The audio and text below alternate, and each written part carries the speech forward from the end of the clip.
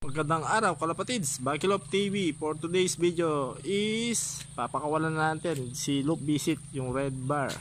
Yan mga kalapatids para makauwi na sa kanila. Yan. Yung ring niya tatlo. Tatlo yung category.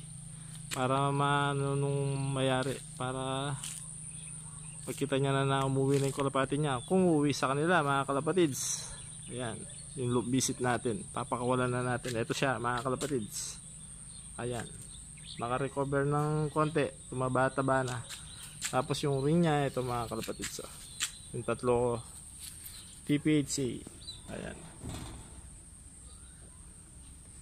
wala kasi nag-ppm sa akin mga kalapatids kaya papakawalan na natin yan kinulong ko to yung walang viewing para hindi siya babalik dito yan papa ano ayan mga kalapatids yung red bar yan, papakawalan na natin para makauwi na sa kanila mga kalapatids. Release!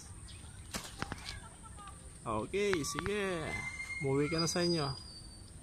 Okay, mga kalapatids. Happy flying. God bless all.